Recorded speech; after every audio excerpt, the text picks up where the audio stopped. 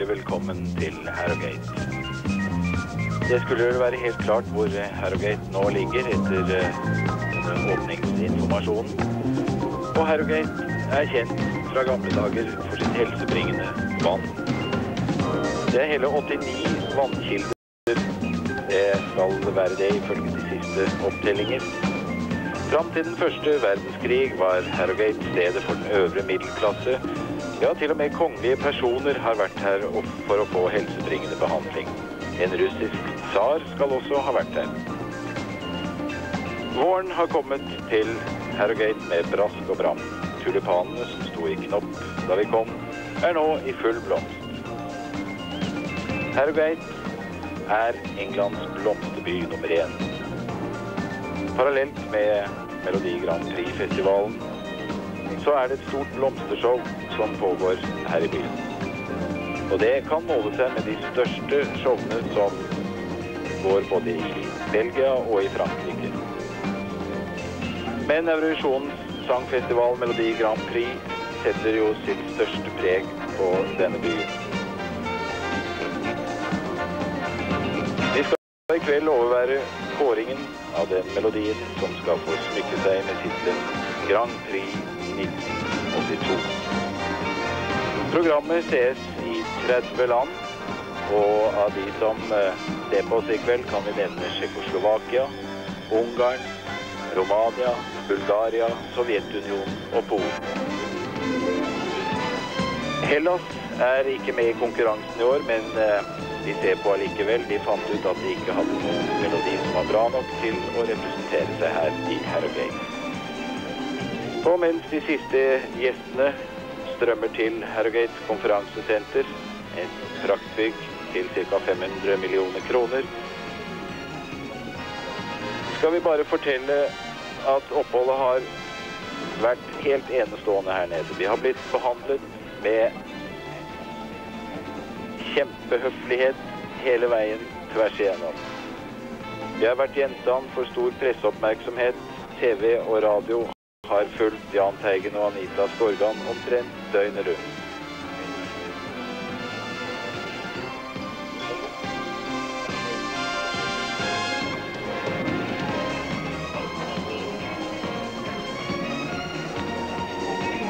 De siste gjestene går nå inn i salen som eh, i vanlige tilfeller kan romme ca. 2000 personer, men pga. alt det tekniske utstyret vi nå har fått inn her, er det ikke plass til mer enn 1200.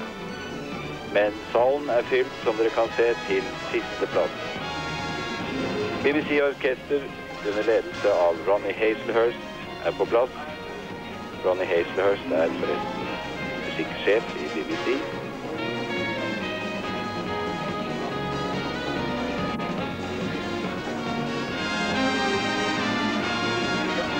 Og her er tavlen som til slutt i kveld skal vise oss hvem som har vunnet Melodi Grand Prix 1982.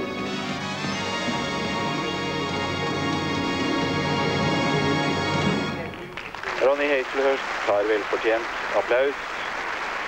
Og om et øyeblikk skal vi få treffe programlederinnen, eller programlederen skal det hete. Jan Liming, kjent nyhetsoppleser fra BBC.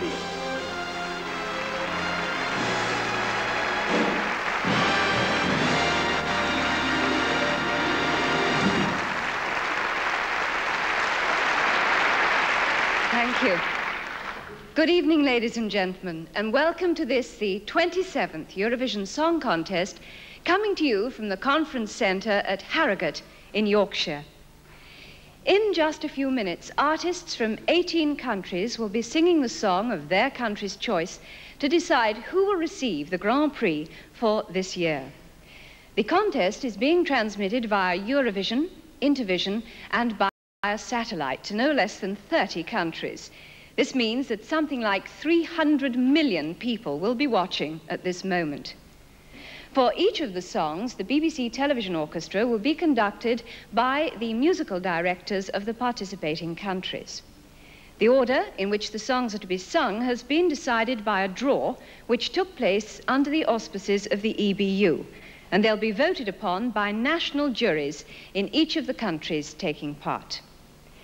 Mesdames et messieurs, je vous souhaite Ja, Jan Liming ønsket oss velkommen til, eh, Harrogate, og fortalte oss at eh, 1982. de som ser dette programmet, det er ca. venant de 18 300 millioner mennesker, skal få le, oppleve 18 melodier i skarp konkurranse. décider laquelle recevra 18 le juryer sitter klar rundt i eh, de sur 30 forskjellige landene for å avgi sine stemmer.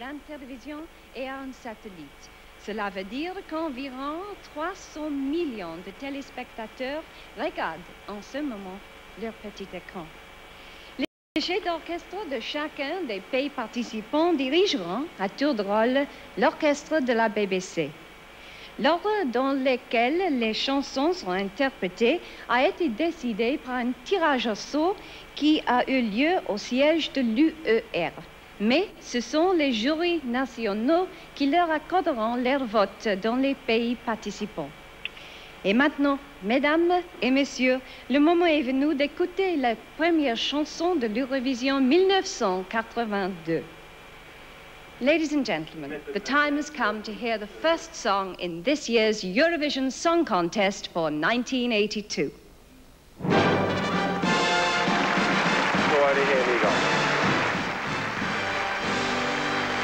Førstemann ut, eller første land ut, er Portugal. Melodien heter Bame Boom, og det betyr bare bra. Det er en slags musikalsk timeplan for hele døgnet. Noen timer er da avsatt til Bame Boom, til noe som er bra eller godt. En kvinnelig sangkvartett som kaller seg Dosh, som betyr søt, skal fremføre sangen. To av pikene, Teresa og Fa, representerte Portugal i Paris i 1978. Da sang de i gruppen Gemini.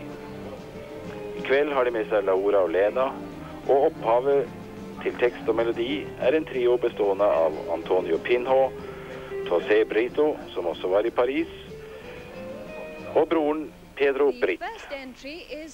Portugal, and the conductor is Luis Duarte.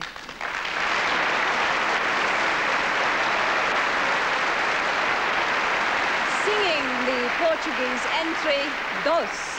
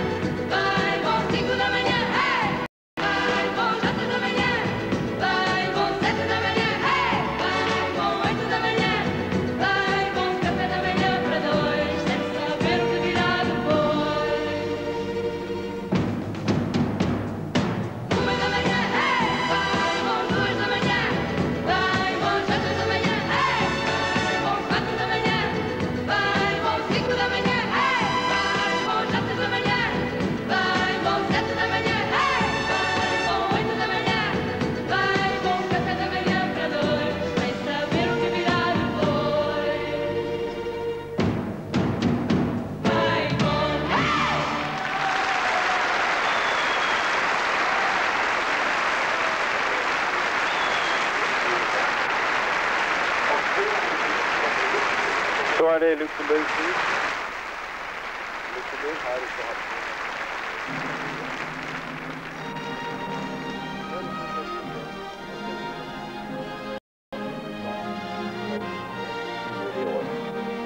Teksten forteller oss at vi bør prøve å hoppe av stresskarusellen. Slutte å jage etter uoppnåelige ting. Og å bruke mer tid til den man er glad i. Og til å formidle dette budskapet har Luxembourg valgt sangerinnen Svetlana. Hun er førskolelærer, og navnet forteller oss at hun har russisk bakgrunn, men født i Paris. Hun har sunget en del år, men har egentlig aldri vært fornøyd med det materialet hun har fått å arbeide med. Men denne sangen er hun meget fornøyd med. Dette er sangen jeg har ventet på i ti år, sier hun. Luxembourg har jo vunnet fire ganger før, i 61, 65, 72 og 73. The conductor for Luxembourg is Jean-Claude Rick.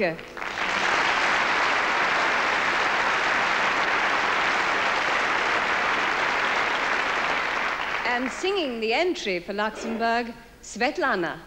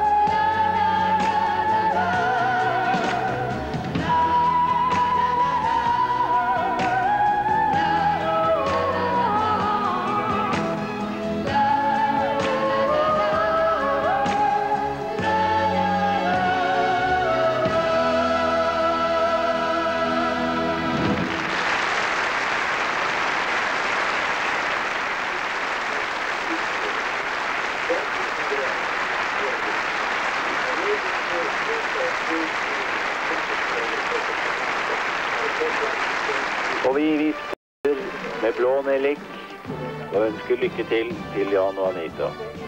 Krysser fingrene. Og Norges bidrag skulle vel ikke trenge noen nærmere presentasjon. Jeg skal bare nøye meg med å si at melodien heter Adjø, og den blir fremført av Jahn Teigen og Anita Skorgan.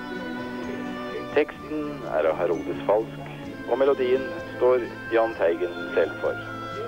Både Anita og Jan har jo vært med på dette før. Anita har jo kommet eh, poengmessig bedre fra det enn Jan, og vi bare håper at de to nå virkelig kan få det til. Det lyseblå spesialpiano med sete er på plass, så alt skulle ligge til rette for en god fremførelse.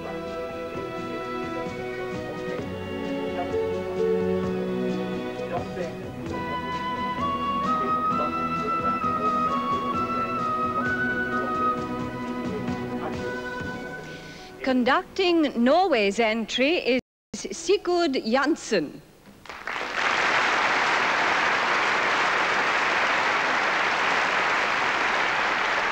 And singing their song for Norway, Jan Teigen and Anita Skogan.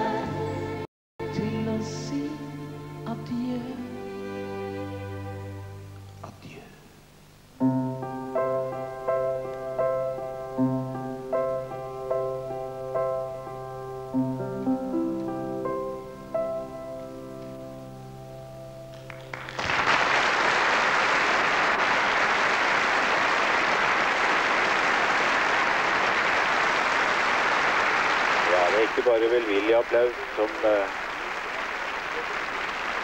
kommer over setene her. Nestemann ut, BBC. Selvfølgelig må jo de alltid finne på noe. England står for tur, som sagt, med melodier med, med en melodi som heter One Step Further. Den handler om avstandsforelskelse, om gutten eller piken som aldri helt kunne få strammet seg opp til å si det som skulle til. Duoen som representerer England, kaller seg Bardo og består av Sally Ann Triplett, 19 år gammel, som startet sin karriere som konferansier i sirkus, eller Sprichdalmeisterin. Hun representerte England i Haag i 1980, da i sanggruppen Prima Donna. Steven Fisher er den andre halvparten. Han er egentlig skuespiller og har spilt i Godspell og West Side Story.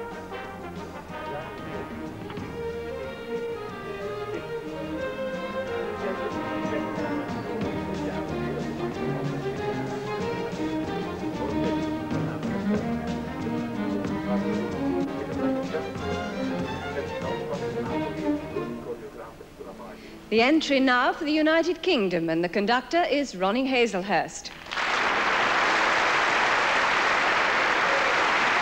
And singing the UK entry, Bardo.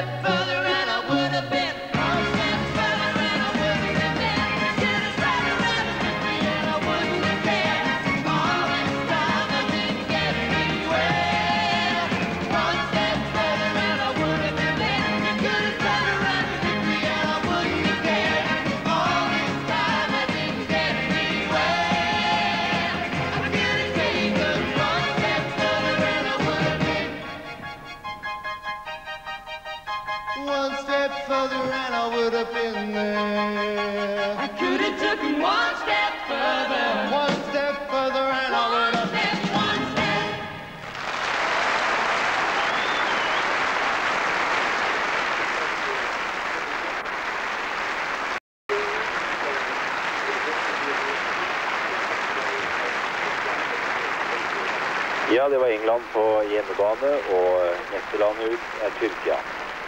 Far og sønn står bak årets bidrag fra Tyrkia. Pappa Faik Tuksus og sønn Olkhaito Ahmed Tuksus har laget melodi. Hani, som betyr hvor. Teksten forteller om en ung mann som er forlatt av alle sine venner og venninner, og som derfor selvfølgelig føler seg ensom og forlatt. Sangen blir fremført av Nejo. En artist med solid erfaring i tyrkisk underholdningsliv. I mer enn 17 år har han holdt på i bransjen. Og det som han huskes best for, er hans hovedrolle i den tyrkiske oppsetningen av Hair. Han er en typisk representasjonsartist, og han har representert Tyrkia ved flere festivaler både i inn- og utlandet.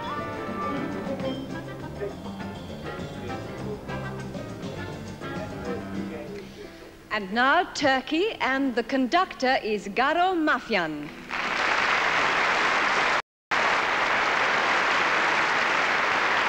and singing the Turkish entry, Nejo.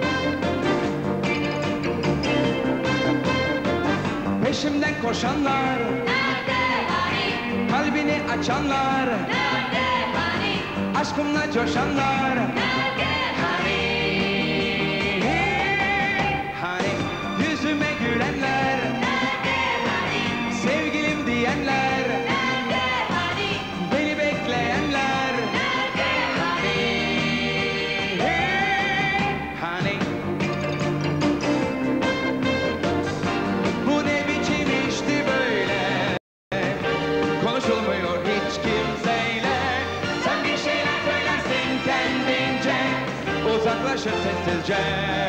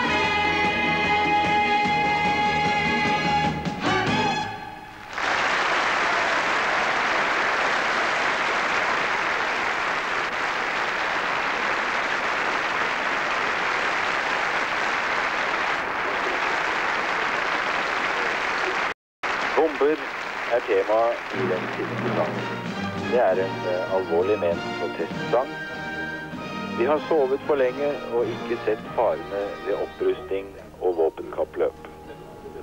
Koyo er sangeren som fremfører melodien. Han er fra Helsingfors og nokså godt kjent i Finland. Han sier selv han liker svart musikk fra 60-årene og er en typisk soul-artist. Og platene hans selger derfor selvfølgelig godt. Teksten står Juice Leskinen for. Det er en folkesanger som bare fremfører eget stoff, og er en av de ledende i finsk rockemiljø. Komponisten Jim Pembroke er England, er, unnskyld, er engelsk. I 1965 flyttet han til Finland og ble en nøkkelmann i finsk rockemusikkbevegelse. Den mest kjente engelske komponist i Finland, etter Lennon og McCartney, kaller de ham. Finland, and the conductor is Ossi Runne.